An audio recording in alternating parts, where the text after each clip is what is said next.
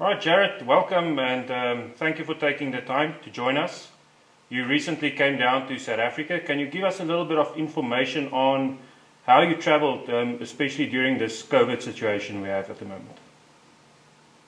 Well, I traveled a couple of times over to South Africa, um, and actually Africa, period. Uh, one we took Ethiopian Air, and the other one was Qatar. Um, both times were very easy to get over. Uh, we did a double test just to make sure we had everything in order. So we took a test 72 hours upon departure and 72 um, upon arrival. Um, we did not need the arrival one. So, but uh, for me, I would always recommend my clients have both of them just in case. Um, you just never know which country is going to require it at any given time. Um, most of the European countries are requiring um, 72 hours upon arrival, which meaning you wouldn't even have it before you left the States. So you you would be required to take two. Um, and it has to be the PCR test. You cannot take the rapid test.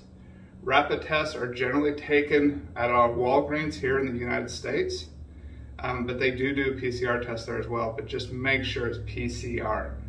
Um, we did a screenshot um, I do know in Seattle they're starting to give you a bit of a hassle. They actually want to see the link and a paper document. So be, just be careful of where you're coming out of um, and please reach out to us and, and ask us any questions. But uh, so we flew to uh, Chicago and no hassles there. Um, we just showed a screenshot on our phones and um, we're able to fly over to a direct flight to Doha and then Doha to Johannesburg. Um, and we had to show our PCR test in Johannesburg as well.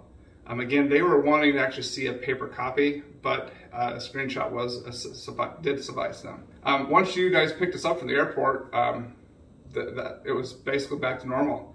So we drove out to your place, um, had a, an incredible time, had a great buffalo hunt, a um, couple plains game with you, and then uh, when it was time for uh, to come back, uh, explain to me what you have set up at your place.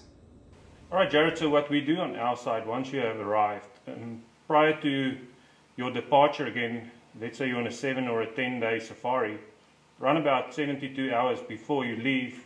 We have an arrangement with our local medical clinic in town, with our um, house doctor, that they will help us getting the whole group tested um, everything is arranged beforehand. Uh, so from camp we can quickly go into town. It's about a 30-35 minutes drive into town to the medical center. Uh, they will be waiting for us. We can quickly run everybody through with the tests. And they will print us a hard copy and also send us an online copy within 24 hours. Um, they say up to 48, but in general it takes about 24 hours to get back. So within 48 hours before your departure, you will have the results back in a form of hard copy and also on your phone. Well, you make it really easy. So I, when I went back, I tried to make it difficult. So I wanted to see it as a consumer side or somebody that didn't have an outfitter that had it set up like you did. So I went to Johannesburg with no test. I flew in about 9 o'clock in the morning and my next flight was at 6 p.m. Um, I do have connections in Johannesburg that um, he was able to get me a test uh, within about three hours. Um, not to say that everybody's going to get that, but the test is available for most people in Johannesburg. They do tell you 48 hours, just like you were saying, Eugene. Um, but, but I did get mine in three hours. That all depends on how many people are getting tested that day. But they can actually have it within 12 hours for you.